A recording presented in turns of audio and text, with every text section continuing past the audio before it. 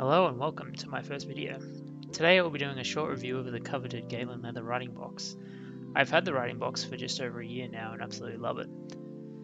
I also purchased the leather travel straps which I would highly recommend. One thing I would warn you about is the wood grain will not look like the photos on the Galen leather website, which may disappoint some people.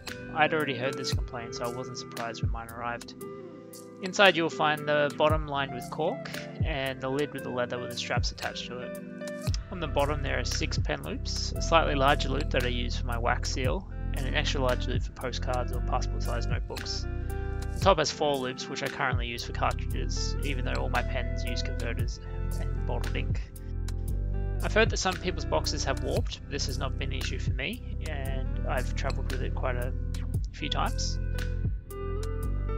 There are two wood stands that swivel up to create a writing platform using the lid. When you turn it around, you can rest the notebook on it.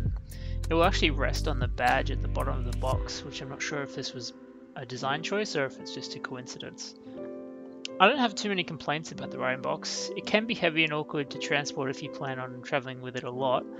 The main reason people might hold back is the price. Um, it's not cheap, selling for around $200 Australian or $150 American. There's also another $25 Australian for the leather straps, something to keep in mind. If you have any questions about the writing box, leave a comment and I'll get back to you. I will hopefully be re reviewing a few other Galen leather products soon. But for now, um, thank you for watching and goodbye.